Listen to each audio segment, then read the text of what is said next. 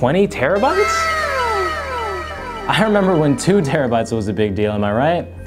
Or a 20 terabyte RAID array had at least five drives plus in it at a time.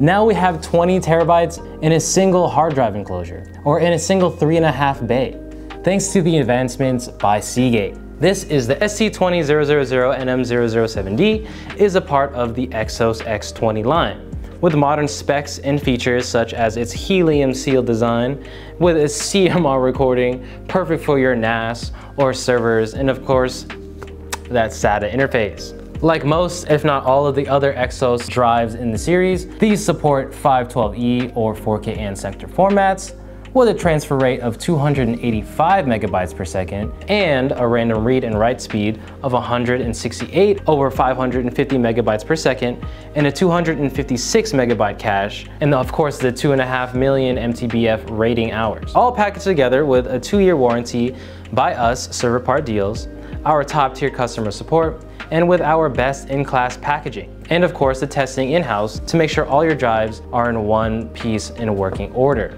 Every year, new advancements and technologies are made in the world of hard drives. Slowly over time, we are getting more and more dense with improvements in speed and other features. Seagate has the enterprise innovation on lock. Almost a decade ago now, I was impressed to hear the new release and tease of 8 terabyte drives.